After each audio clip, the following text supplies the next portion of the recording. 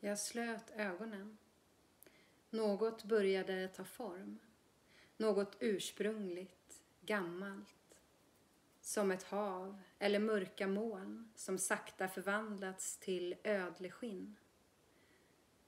Det såg i sin färg hårt och stelt ut samtidigt som de hade en människas mjukhet och vindens lätthet.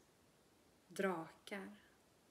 Drakarna flög om och slingrade sig runt varandra.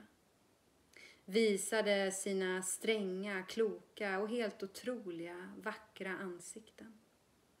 Den ena avlöste den andra och såg mig i ögonen. Alla hade de perfekta och helt fantastiska färgkombinationer.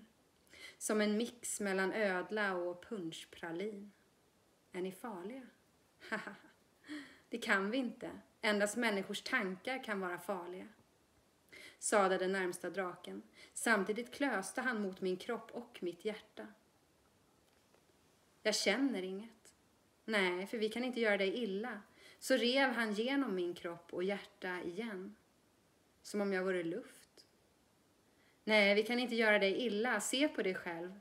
Oh, jag är en drake. Ja, vi kan inte göra dig illa för vi delar vårt hjärta.